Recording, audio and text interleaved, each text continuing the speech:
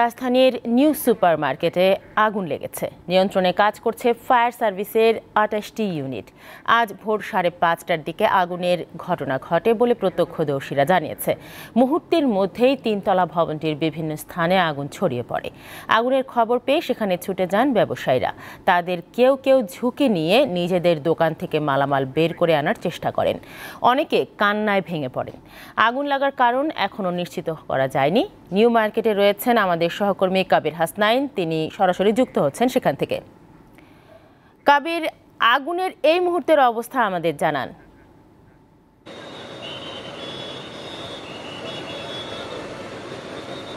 আচ্ছা ভোর পাঁচটার দিকে নিউ মার্কেট সংলগ্ন নিউ সুপার মার্কেটের তিনতলায় আগুনটি লাগে। ভোরের দিকে ফায়ার সার্ভিসকে খবর দেওয়া হয় যে এখানে আগুনের সূত্রপাত ঘটেছে। এরপরেই ফায়ার সার্ভিস এখানে চলে আসে। আমরা যদি আপনাদেরকে দেখাই যে জায়গাটি আগে বলছি যে নিউ মার্কেটের ঠিক লাগো, আমরা যেটিকে নিউ মার্কেট হিসেবে চিনি, ঢাকা নিউ সুপার মার্কেট সেটির তিনতলায় আগুনটি লাগে। এই মার্কেটটি মূলত একটি পোশাক কারখানা পোশাকের দোকান। এখানে জামা, কাপড়, প্যান্ট সব ধরনের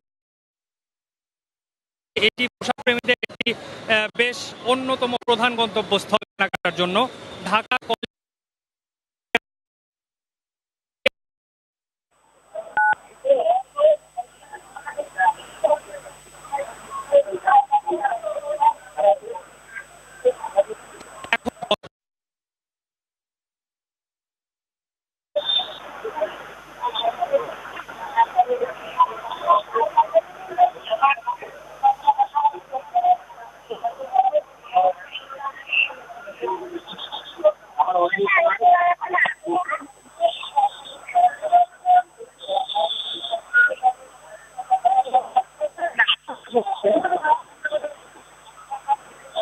কলেজ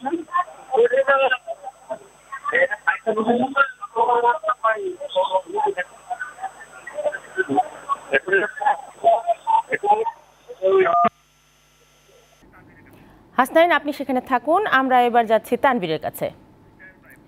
তানবীর আগুন নেভানোর কাজে কোন কোন সংস্থাগুলো যোগ দিয়েছে এখন পর্যন্ত?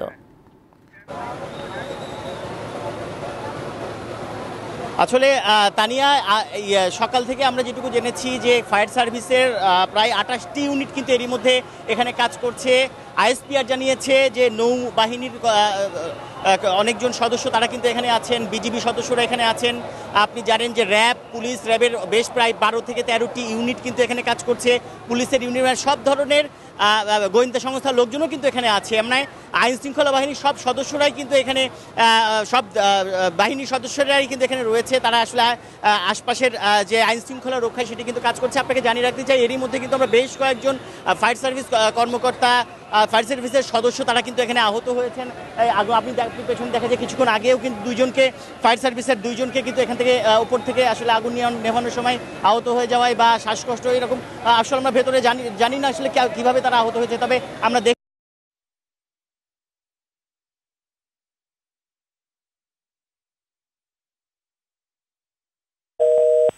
তবে ধরাধরি করে নিয়ে গেছে। আপনি দেখতে পাচ্ছেন আমার সামনে কিন্তু ভেতরে অস অনেক ধোয়া।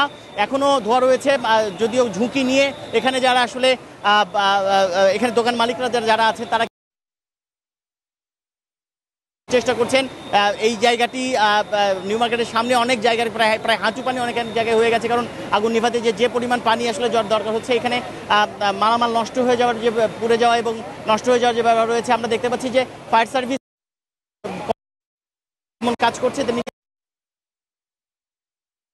সর্বোচ্চভাবে চেষ্টা করছে। মালামাল যে যেমন উদ্ধারের যে বিষয়টি সেটিকেও তারা দেখছে একই সাথে তাদের ক্ষণ ক্ষয়ক্ষতি না হয় সে বিষয়টি আমরা দেখতে পাচ্ছি। আপনি তো প্রায় দুই ঘণ্টা ধরে এখানে আছেন। আপনি ভেতরে কি দোকান রয়েছে? আপনি আসলে যদি বলতেন না এখানে কি দেখতে পেলেন? অনেক ধোয়া আগুন অনেক আগুন ছিল। পরে তারা অনেক প্রচেষ্টা তারপর সাধারণ স্বেচ্ছাসেবীদের প্রচেষ্টায় আর কি আগুন মোটামুটি এখন ইয়াতে আছে। তারপর?